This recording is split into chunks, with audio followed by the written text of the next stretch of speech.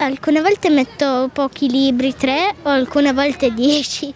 Da quando sono dieci la tua schiena è messa ad una prova? Sì. L'anno scorso sono caduta dalle scale perché pesava troppo lo zaino. Dai 5 ai 7 kg, fino ad arrivare nei giorni con più materie ad addirittura 9.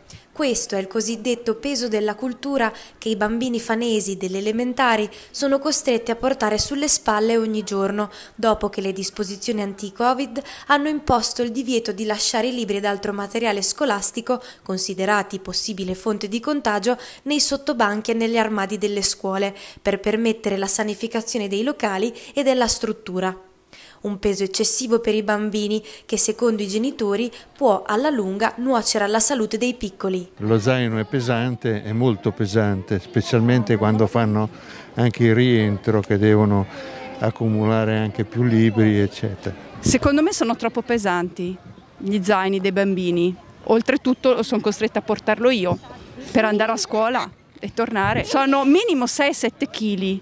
L'anno scorso mi è venuto il mal di schiena per portarlo. Secondo me sì, anche perché poi facendo le scale così ripide c'è il rischio che cadano anche all'indietro. Qualche volta è successo che abbiano perso l'equilibrio.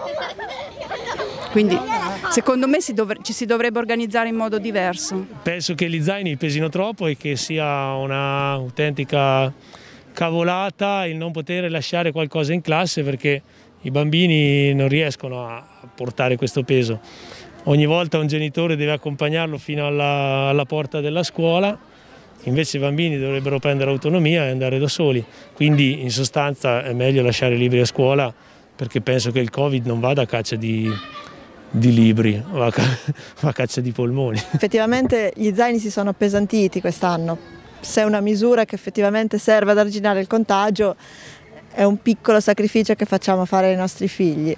Certo, bisognerebbe trovare una soluzione alternativa, non so come, con altri tipi di materiali, non so, aiutandoci magari col, col digitale, con i libri elettronici. Speriamo che la scuola possa trovare qualche soluzione, anche perché oggi ne porto uno, gli altri giorni ne porto due, l'altro è a casa, quindi non, non fanno fatica. Lei stamattina è caduta con lo zaino, non riusciva a rialzarsi, tanto pesante però ci si adatta a tutto, l'importante è andare a scuola. La scuola comunque cerca di venire incontro ai bambini per risolvere il problema.